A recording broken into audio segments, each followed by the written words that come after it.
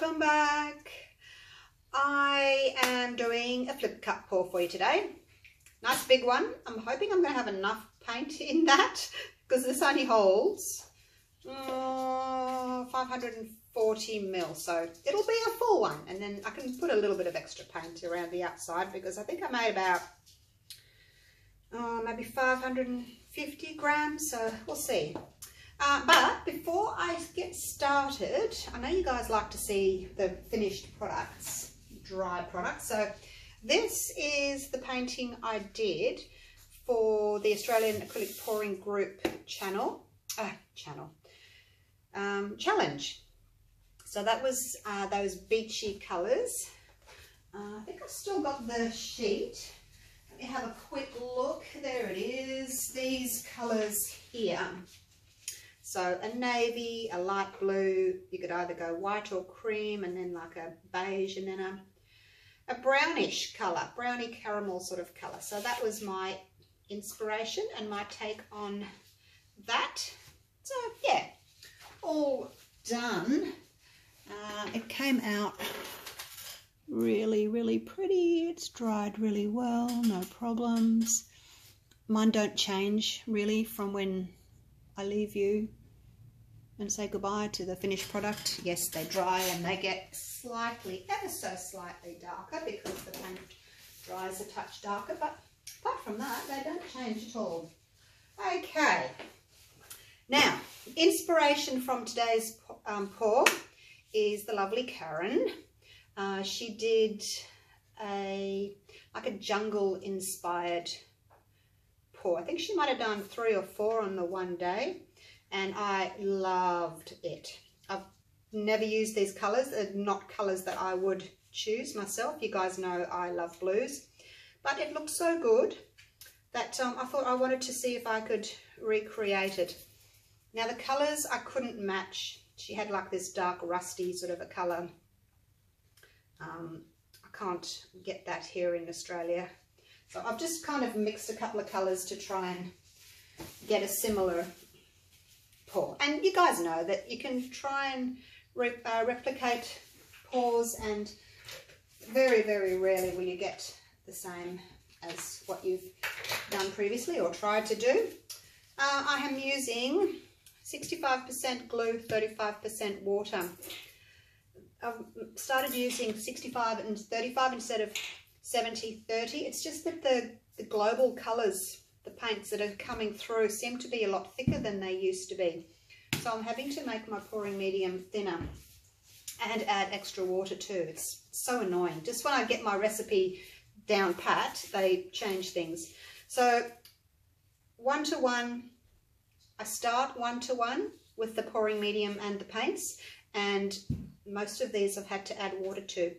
Uh, it's, it's generally the sort of orangey reddish, um, like the warm tones that need the extra water. I don't find that I need it with the cool tones, so which is a bit bizarre. Righto.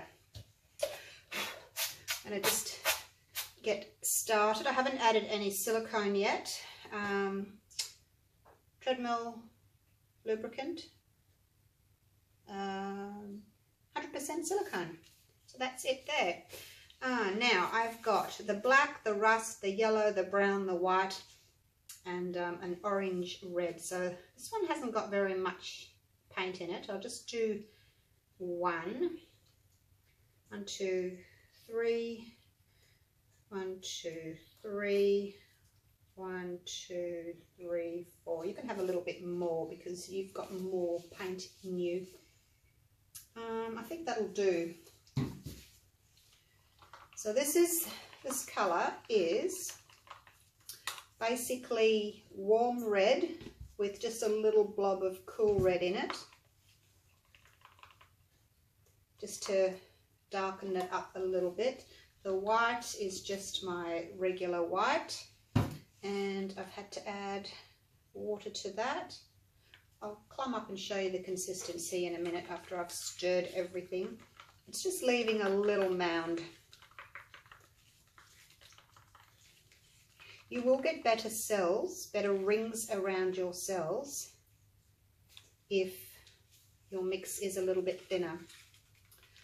Now, Karen, if you're watching, I would like you to do, if you want to, a little experiment and just thin out your mix just a touch more. And I want to see if that helps with your caterpillar problem.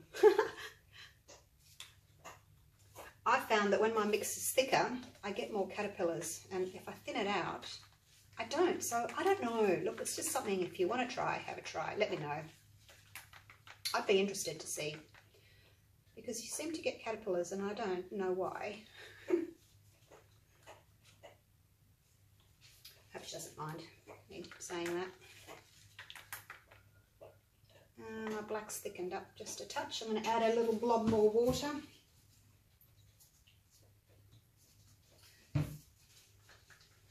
Blacks and whites always seem to take more water than the other colours I've found. Now I've only got the one cup, so I'm going to just do, obviously, maybe two layers. I want them relatively big layers. I've oiled my cup with the spot on, well actually it wasn't the spot on, it was just the um, spray silicone. I'll do my layers a little bit thicker today. And if I've got a little bit of paint left, that's okay. I'll just pop it around the sides. So the black first. Now this is the rust. Um, so it's basically these two mixed together, the warm red, the cool red, and then a little blob of black. The yellow I make myself. Um, I don't know if it's Naples yellow or not, but that's it there. It's yellow with a little bit of brown and a little bit of white. The brown is burnt sienna. And yeah, I think I've told you about the rest of them. So we'll get them out of the way. Now let's do the rusty colour next. Bring it down here so I can actually see into the cup. Because it's a big cup, I'm going to do bigger layers. And then the yellow. Takes quite a bit of paint to cover each layer because it's obviously it's a bigger cup It's probably half my yellow gone. And then the brown. I hope I stirred my oil enough. I was talking wasn't concentrating.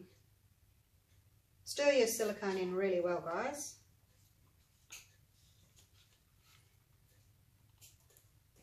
White. See how the paint spreads nicely? It's not um, sort of staying like in a mound. It's spreading nicely. Go back to some black so we can have some grey in the painting.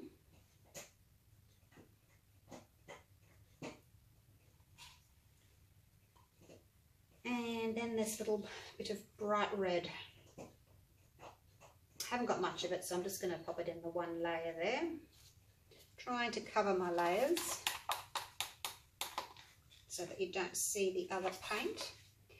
When I'm doing five flip cups, I don't really worry about covering the paint, you know, because I've got so much paint to put in there. I just drizzle it in and hope for the best. It all gets blended so well. But, uh, with this bigger cup, see what happens with the bigger layers. Um, and then I'll finish off the white.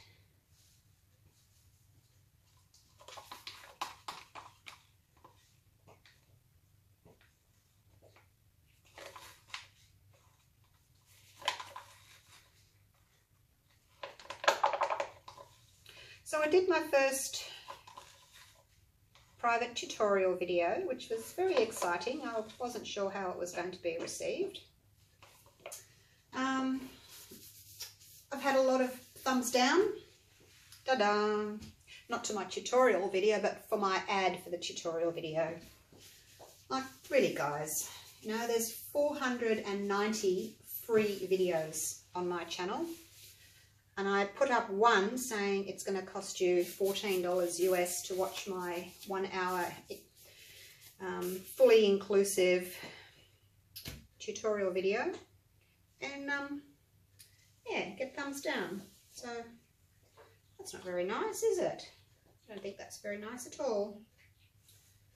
What do you do? Um, oh, what do I put in next? I think I'll put in a little bit more yellow.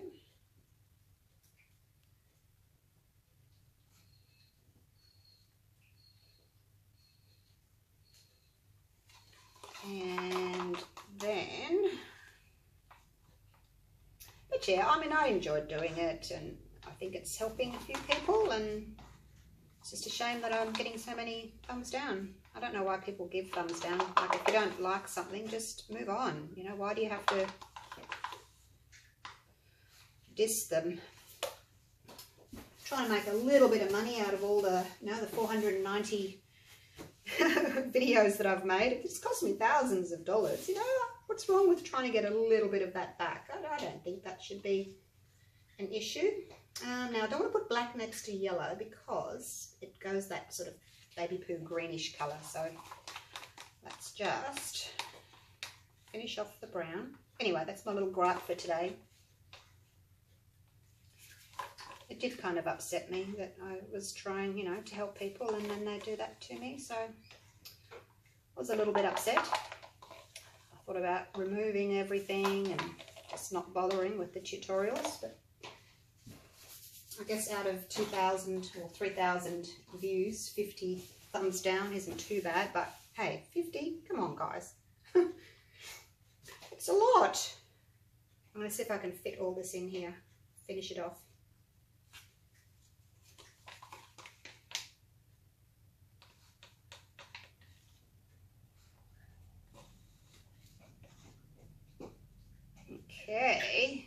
That black out of my, just gonna fit, hey? That was good. I'll have to work out how much paint I made. Maybe it was five, uh, 550 grams. Get that black paint off my hands. Oh, look, this is gonna be, am I gonna fit any more in there? it's gonna overflow. It's gonna overflow, quick, quick. Oh. I'm just making a big mess, a big fat mess.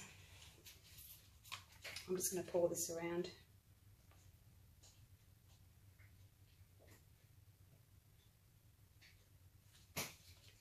Okay, keep just a tiny little bit just in case I need it for my corners. I've got paint all over my arms from doing that. It's always handy to have a, a damp cloth so that you can wipe your hands, hey? Such a messy business. Now, the other thing, I'm going to try and do, again, what Karen did and try and do that flip and lip.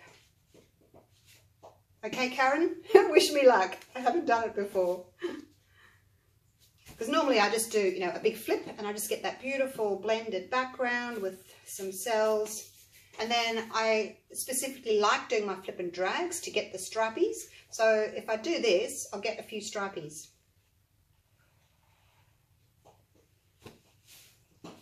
All right, I don't need to wait for the paint to go down because it's already down. I hope that's rust colours the correct colour. Oh, look at that cell. Okay, now what do I do? I just flip it and then leave it and then run the cup through it. Is that what I do?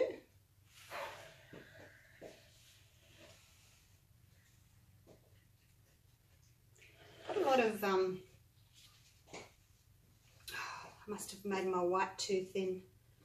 See that? That's what happens when my white's too thin. I don't want any more white through it. Um, let's take it through there again. Okay, that'll do. I hope that was all right. Oh, I don't like these. Okay.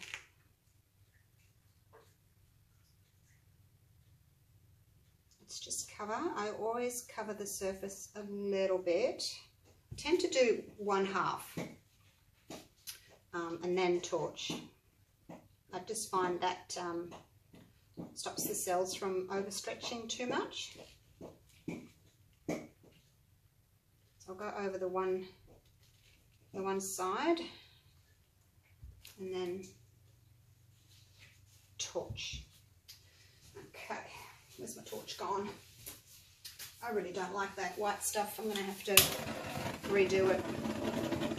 My white was too thin. Overcompensated. See, I've got this white lacing and I've got these. This, this is awful. Awful, awful. This bit here.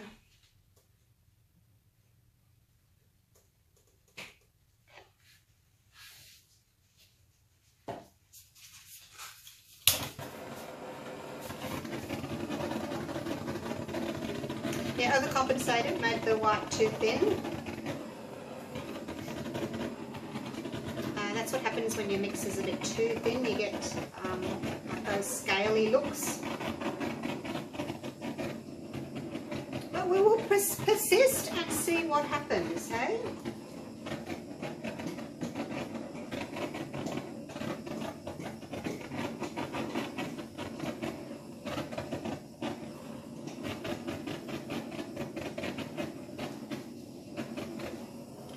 just paint. Oh, and the other thing I wanted to try and do is not to torch so much. Um, less, have less cells, yeah, less is more.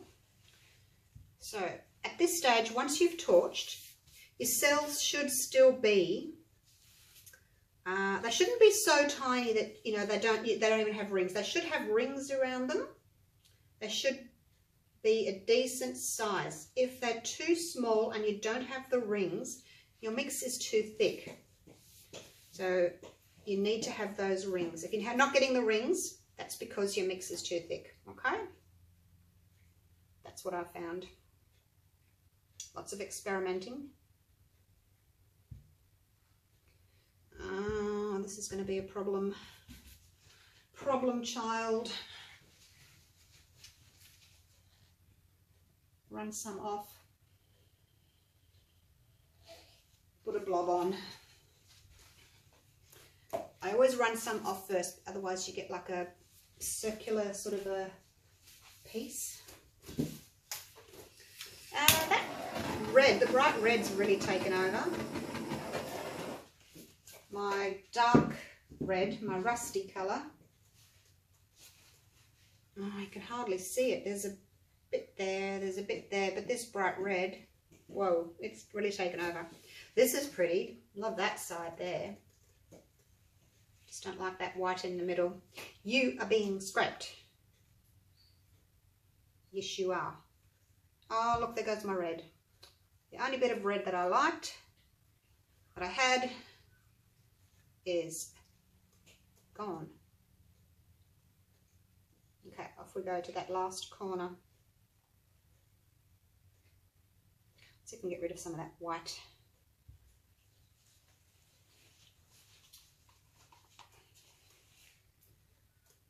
Pour a little bit of the rust on the corner there. Had a little bit left in my cup.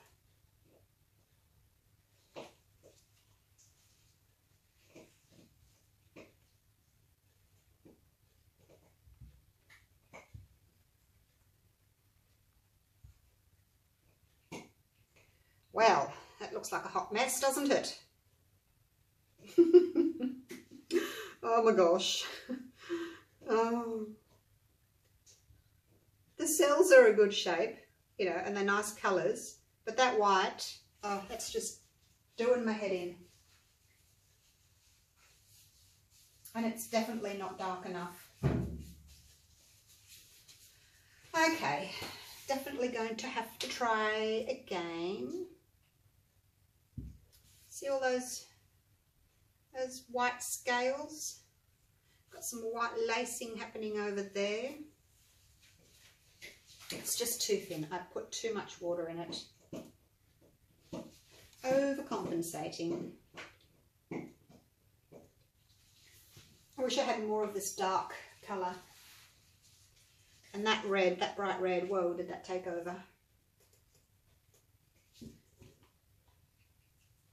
But look, I'll put the video up because it's a learning curve, isn't it? We all learn and you guys can let me know what you think.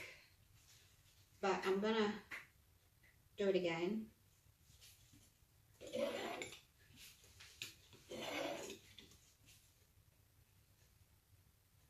Let's fix up my little corners there. Run the palette knife around. Oops missed a tiny little dot there.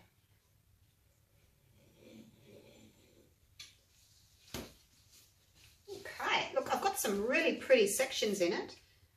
This, this here, those are really nice colours. That is gorgeous, that whole corner. Actually, that, that third, that's good. Just don't like that bright red and that white scaly stuff. And the white's doing weird things here too. Too thin, that's why. Rightio, let me take you down for a close-up. And go again, make a few little changes with my mix and my colours. Um, less white.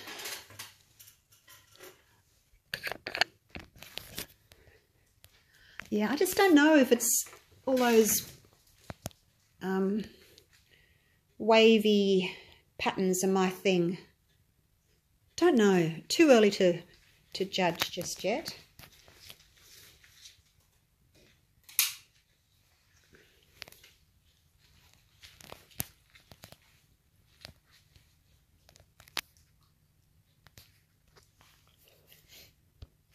So these cells here are really pretty. So they've got the yellow ring around the rust colour. Those are really pretty. And that corner down there, see I wanted more like that, more black. I probably needed more black, less white. Make, might make up half the amount of white. And even though I only had a tiny little bit of that red, it really took over. See what I mean about that white? See how it's kind of gone scaly? They're trying to develop cells, but it was too thin, so they all just bumped into each other.